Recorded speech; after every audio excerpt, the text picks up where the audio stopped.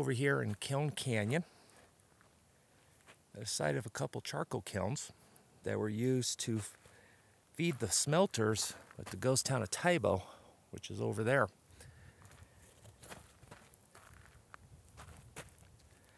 The original kilns were built in 1874 and they were made out of stone. But stone is not really as efficient as the brick, especially the double layer brick. So in 1876, 15 new kilns were built out of brick. And these are two of the 15. And these 15 kilns required 500,000 bricks. Look at that lizard. Oh, he's a big boy. He's a big one.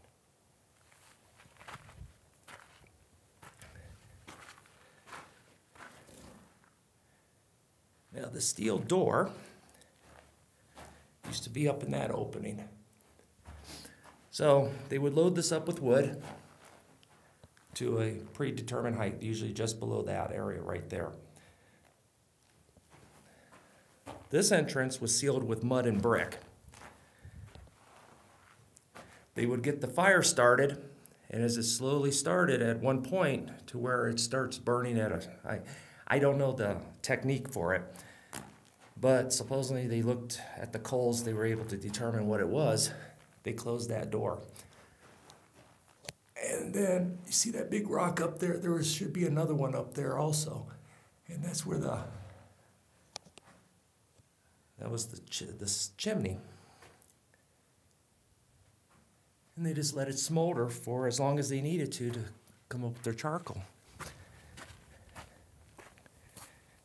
And while it was smoldering, a crew had to maintain it or watch it, maintain it, make sure everything was running right. Because if it burnt too long, it's basically ash. I mean, you don't really get much money out of ash.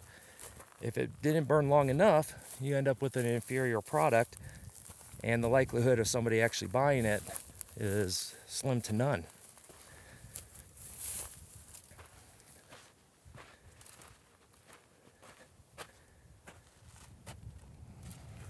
Yeah, there's another lizard. Yeah, good sunning place.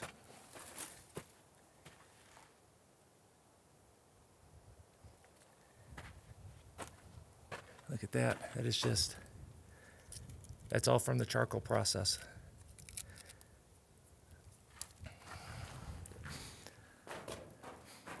And there, there's the two big rocks. The middle door here is missing. Because this one is not as open up there with the big rocks. And it still has, see, that's all the charcoal patina. It still smells like charcoal in here.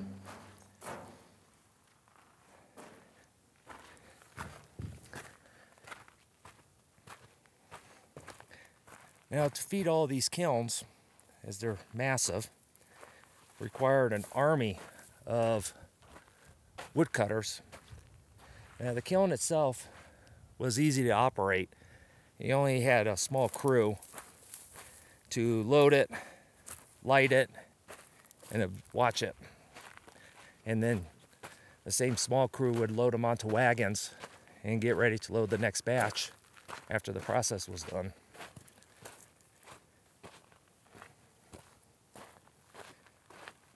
Because where we're located, we're pretty high up. The winters in this mountain range get really nasty.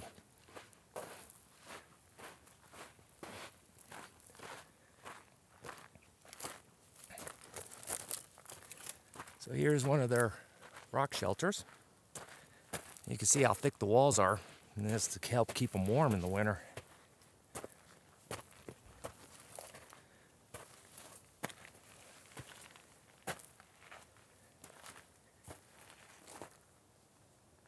Very neat.